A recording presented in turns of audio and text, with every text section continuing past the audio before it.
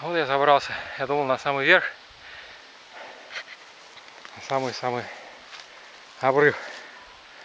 А нифига. Тут он еще выше, выше, выше. И лес. Так что это не самый верх.